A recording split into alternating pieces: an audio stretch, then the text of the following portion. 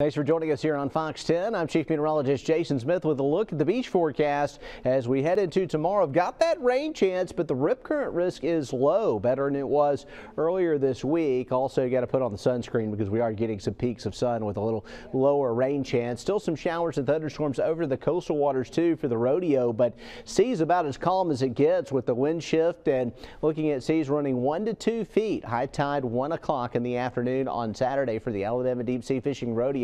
Futurecast shows evening showers and thunderstorms around on our Friday. Those will break up overnight. Should be pretty quiet overnight. Then we'll see coastal showers and storms getting going tomorrow morning over the Gulf of Mexico. Those will last until mid morning and then things will reset. We'll get more scattered showers and storms over the land areas tomorrow, but the model's a little drier tomorrow, so our rain chance is more scattered. Here's what we're seeing over the Gulf of Mexico. Just about nothing as far as organization. Same thing for the Caribbean Sea.